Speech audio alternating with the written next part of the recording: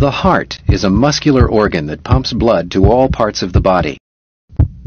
It can be divided into two cavities.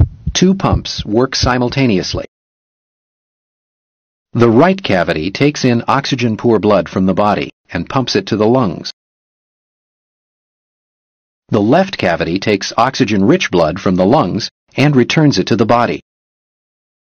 Each side of the heart has an auricle, which draws blood in from the veins, and a ventricle, which pushes the blood out through the arteries.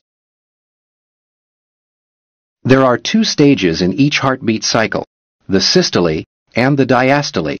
In diastole, the heart muscle relaxes and blood is drawn into the two auricles. Rising pressure in each auricle opens the tricuspid and mitral valves and blood flows into the ventricles.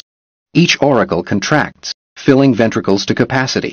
During the systole stage, the filled ventricles contract. The mitral and tricuspid valves close. The aortic and pulmonary valves are forced open, and blood pushes out into the arteries. Then the heart relaxes, the aortic and pulmonary valves close, and diastole starts again.